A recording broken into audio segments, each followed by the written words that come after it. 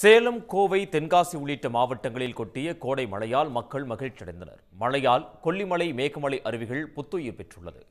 சேலம் மாவட்டம் சங்ககிரி அதன் சுற்றுவட்டார பகுதிகளான குப்பனூர் பச்சைக்காடு பனங்காடு பகுதிகளில் சூறை காற்றுடன் கனமழை கொட்டியது. சுமார் ஒரு மணி நேரம் நீடித்த மழையால் சாலைகள் வீதிகளில் மழை நீர் பெருக்கெடுத்தது.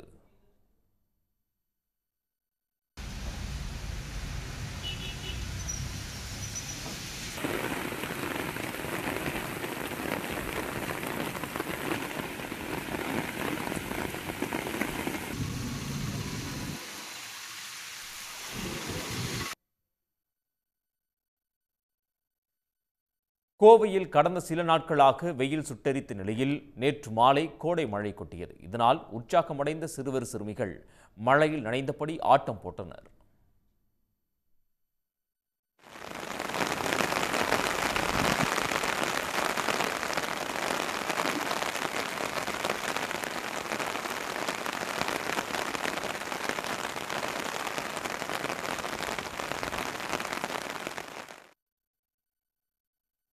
தென்காசி மாவட்டம் சங்கரன் கோவில் திருச்சி மாவட்டம் மணப்பாறை திருப்பூர் மாவட்டம் காங்கேயம் அவினாசி கன்னியாகுமரி மாவட்டம் நாகர்கோவில் சுற்றுப்பகுதிகளிலும் பலத்த மழை கொட்டியது.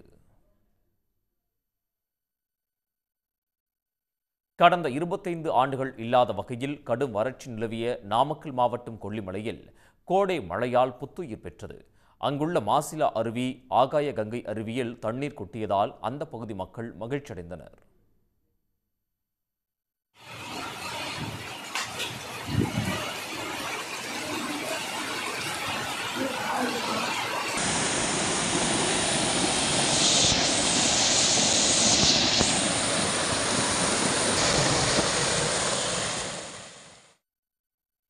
இதேபோல் தேனி மாவட்டம் மேற்கு தொடர்ச்சி மலைப்பகுதியில் அமைந்துள்ள மேகமலை அருவியிலும் கோடை மழையால் தண்ணீர் கொட்டத் தொடங்கியது.